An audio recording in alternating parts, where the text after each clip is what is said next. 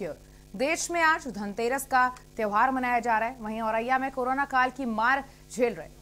बाज़ार सड़कों पर भीड़ तो दिखाई दे रही है, लेकिन दुकानों में सन्नाटा पसरा हुआ है। नगर के सदर बाज़ार में व्यापारियों से बातचीत करते हुए पता चला कि इस साल बाज़ार ठंडे पड़े हुए हैं। लोगों की बिक्री नहीं हो पा रही है। ऐसे में व्यापारियों को दीपावली की बिक्री की चिंता सताने लगी है। बैग व्यापारी दिलीप पोरवाल ने बताया कि बाजारों में हर साल आज के दिन रौनक होती थी, लेकिन इस साल धनतेरस का त्यौहार बिल्कुल सूना पड़ा हुआ आपको बताते चले कि जब के न्यूज़ की टीम ने दुकानों पर जाकर रियलिटी चेक किया तो पता लगा कि इस साल बाज़ार खाली पड़े हुए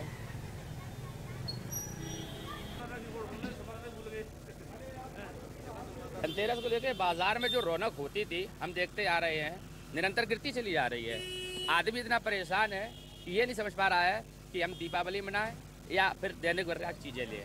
इस वजह से धनतेरस में जो रौनक होती आ रही थी, वो अभी दिख नहीं रही है। आज हम लोग व्यापारी इतने परेशान हैं, निराश हैं, जो दुकानों का डिस्प्ले हमारा काफ़ी हाई लेवल में जाता था, वो हम लोग जो है दुकानें के चलते और ग्राहकों के ना आते हुए मनोबल डाउन हो रहा है।